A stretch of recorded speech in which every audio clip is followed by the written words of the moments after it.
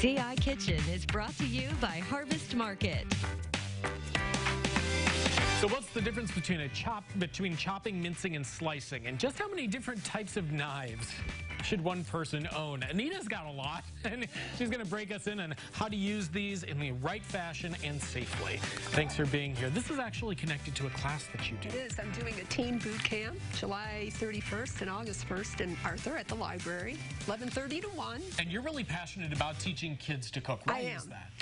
Uh, Well, just recently, for an example, the obesity numbers came out for last year, um, especially in the rural areas. 40% of teens and kids are obese. Wow. That's a lot. Yeah, and that's not just overweight. That's obese. Yes. That's like the next category. beyond. And part of the reason is um, we're busy people. Nobody has time to cook. And this is a skill that if you master, you're fast. Yeah, well, it's so true. And I remember when you taught me how to use a knife. Right. That was the first time I'd ever actually been shown how to do it. It totally, you, you can totally mince and chop. That's and- right. So let's talk a little bit about knives and then what we can do with Sure. them. You have a whole array here. I do. I have a whole array of knives and cutting boards. So the first thing I want to point out to you, and if you would just pick up some of these, Okay. one of the important things is how it feels in your hand. Okay. So everybody's like, oh, a knife's a knife. Not really. Which do you prefer? Oh, which one? Yes. I like this one. See, I do not. That's my least favorite knife. Okay. So there's an example. okay. Yeah. Between these, Um, certainly, yeah. Interesting. And this is my favorite. I like the weight of it. That's mine from home. These are knives that I use in class. This is pretty heavy. I like a heavy knife. Some people don't. And and does it change the the weight of the knife? Does it change how it cuts or I don't really think so. I think it's just a comfort level. And then size, this is for younger kids. Um, they really like that one because that's Guy Fieri.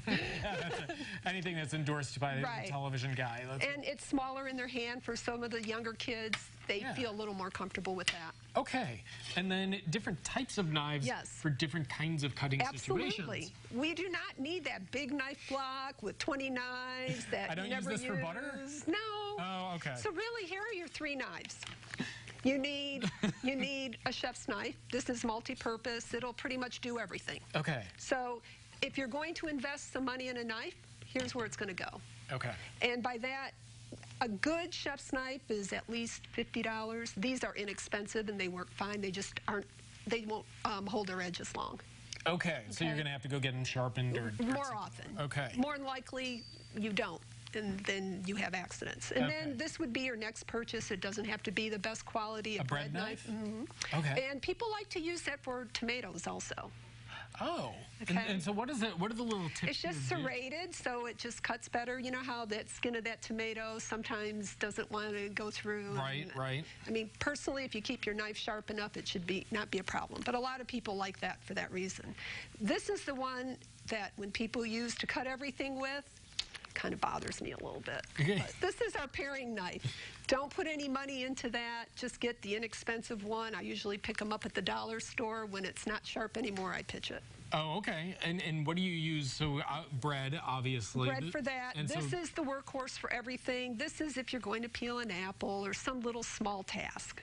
And this is the one that I'm going to use close to me. Like if I'm to- like cutting a exactly. banana So or this something is like that. on the board. This might be off the board. Okay. Okay, so it's in your hand, and you might be peeling the apple or just Right. like you said. You have three different kinds of of cutting boards as oh, well. I have here. more than three. Well, oh, well, okay. So you brought four with you, but at least these two and this one. This different. one and this one. Oh, so Oh, this five. is the one that you never want to use. this one, right? Right. That sits next to my This stove. is the one you don't want to use. Yeah, the glass. Um, all it is is a glass board. It's terrible on your knives. Your knife will slip. Your, it's just not good. Well, and I feel like I mean you're you're putting pressure down on a It's on just a piece of glass. There's so nothing good about it, other Okay. than if it sits next to my stove, I can put a hot pot on it or my spoons. and Jeez. it's easy to clean. Oh well, okay. Okay. There's there's that. Otherwise, though, meh. There's my positive. Right. This is bamboo. Oh, And the beauty of this, supposedly, is that it's not porous, so the bacteria won't get in there quite as easily. Okay? But again, it's hard on your knives. It's a hard surface, as you can tell. Sure. Okay? yeah. Okay. Well, and and anything made from a plant fiber is at least somewhat porous. It's Somewhat, but not like this. not like wood. So Right. let's talk about the the wood block Right. that everyone's. And then this is um, this is a wood block. I actually got this at Boos Block in Effingham. Yep. I highly recommend everybody go to their outlet because they have great deals and great products. As you can see, it's thick, it's wood. All you have to worry about is keeping the bacteria off of it. Mm-hmm. So it can't go in the dishwasher like this one can. Okay. And there's some issues with that. So most people will choose to use this for vegetables, fruits, and keep meat on plastic. Okay. The other thing you have to do is it gets dried out. You'll need a product to, and this is mineral oil. There's different types. Um, this one actually says laxative on it, so you're good to go. yeah, you, so, so it's edible. So it's edible. yeah, literally, I see what you. Yeah. So it says, you know, tasteless, odorless, colorless, so that should tell you I can use this.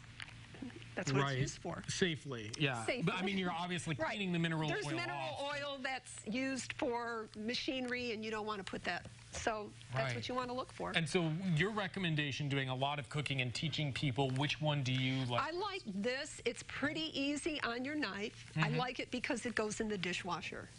Now, this one I found, I pilfered from CI Living. And as you can see, it's not pretty. no, because see all the cuts in that? Yeah, here, I'm right. gonna I'm gonna elevate gets- it so, so And they'll all get to that point. Okay. So you can't get the bacteria out of all of that. So that one needs to go. Okay, I think we can see it there. But yeah, I mean, there's just a ton of cuts. So, all right. Oh, and the backside's no better. Okay, well, sorry you had to steal that from us. And then this is a mandolin, which is Okay. very, very dangerous. It's like, I mean, this is, the, okay, let's show this off. If you haven't seen a mandolin before, And this is how you a blade get this paper thin cut. It's beautiful. Yeah, and you then- can so get it actually thinner than that. Really? Mm-hmm. And so you just stick it on here and go like this back and forth. But what most people like to do, like me, is you can do this for a while and then you're thinking, oh, I'll put that on there later, and then you cut yourself. Or as we were discussing earlier, cleaning it. Cleaning it, that's where I, yeah, that's where I hurt myself. So just be- be careful. And then here's a knife sharpener. More accidents happen with a dull knife than a sharp knife. I just like to have this little tool. I don't know how Where to do you get one of it. these? In Walmart, Okay. Amazon. And all you need to do is take the knife, set it down. That's got a guard on it. And just do and one of these? go, right, Oh, yeah, you, you can hear it in there. right. And that's all you do. Okay, perfect. Well, we're going to do some cooking here now that our knives, well, I'll, I'll Right. sharpen the rest of your knives during the Oh, great. and then we'll do some cooking here in the CI kitchen. If you want more about Anita, a link to Anita's Table Talk, uh, her, she's got great information on her Facebook page. We'll connect you to that at CILiving.tv.